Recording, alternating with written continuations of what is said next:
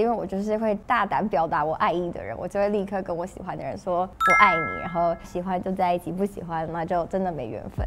Hello L 的朋友们，大家好，我是你们今天的主治医生 Hannah，然后我今天要来回答一些大家在爱情里面的疑难杂症。我现在二十五岁，母胎单身，又宅又社恐，虽然一个人过得很好，哎，这不是是吗？但不结婚过不去父母心那关，该怎么说服他们？这一题确实有点难，但我觉得父母只要关心你，就是希望你可以过得很幸福。你一个人可以说服他们，你一个人也很幸福，我相信他们可以理解的。男朋友很爱我，但我总觉得我可以找到更好的，该怎么调试这个心态呢？我觉得这题就好难了。嗯，我觉得你就是有点贪心，就是不要这么贪心，可能会心态会好过一点。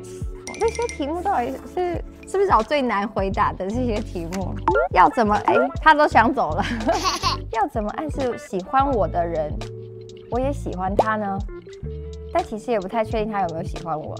哦，这个我最不会，因为我就是会大胆表达我爱意的人，我就会立刻跟我喜欢的人说我爱你，然后看他怎么回答，喜欢就在一起，不喜欢那就真的没缘分。所以我觉得大胆说出来。小孩比较喜欢扮白脸的爸爸怎么办？我也不想当凶巴巴的妈妈。我完全懂你，我也是这样子的妈妈。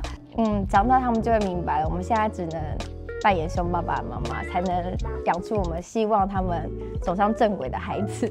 想谈恋爱，但是不知道自己到底想要什么样的对象。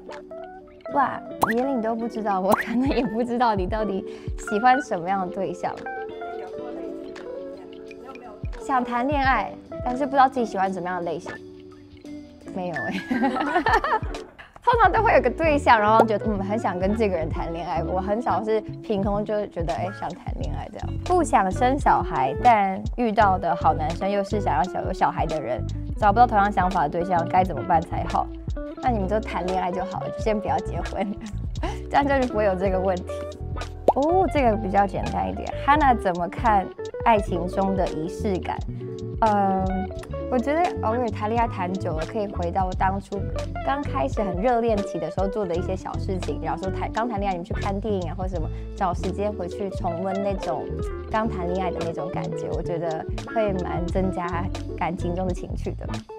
今天的爱情诊疗室就到这边了，我希望有回答到大家的问题。今天下班了，叮叮叮叮叮。